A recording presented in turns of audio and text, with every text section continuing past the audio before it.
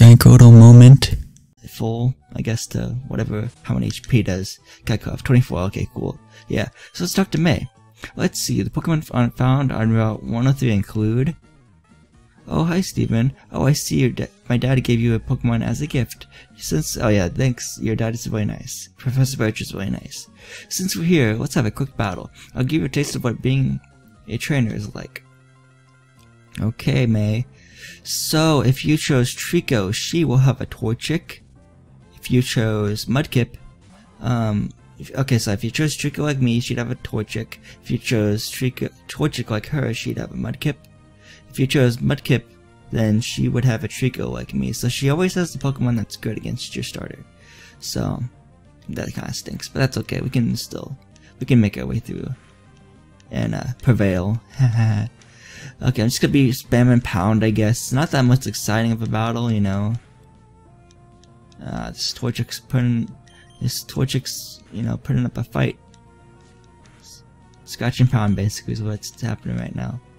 But since I'm two levels, since Geico's two levels ahead of it, two, two, two levels higher than her Torchic, we had the upper hand, honestly, he or more experienced, I guess you could say. Okay, we defeated May. Awesome. Pokemon Trainer May. Wow, that's great. Steven, you're, you're pretty good. Thanks. Thanks for 300 Poké Dollars. Yeah, nice. I think I know why my dad has an eye out for you now. I mean, you just got that Pokemon, but it already already likes you. You might be able to befriend any kind of Pokemon easily. Well, it's time to head back to the lab. So you can hop over the ledges. Oh yeah, I forgot to mention, if you're on the on the uh, right side of the ledges, you can actually just hop over them, which is really nice to avoid tall grass and stuff. It's really fun. But you have to be on the right edge of it to hop over it. If you're on the other edge of it, or the wrong edge of it, then you can't hop over ledges. That ledge is... Yeah, you can't hop over that ledge. Steven, over here, let's hurry home. Okay. Yeah, I like the sound it makes when you hop over that. It's like a, it's like boing, boing. it's funny. We're back in Littleroot Town, so let's go back to the lab, which is right here. Professor Birch's Pokemon Lab, and I'll read the sign from May's house, I guess, because I didn't do that yet.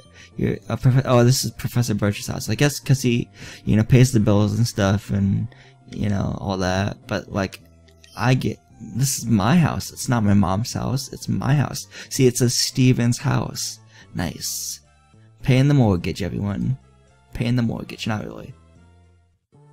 That's the case in real life too. Jeez. Okay, whatever.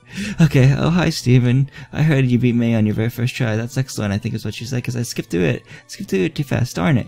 May has been humping with my research for a long time. May is... Uh, May has an extensive history as a Pokemon as a trainer already. Here, Steven, I ordered this for my research, but I think you should have it. This, I think you should have this Pokedex.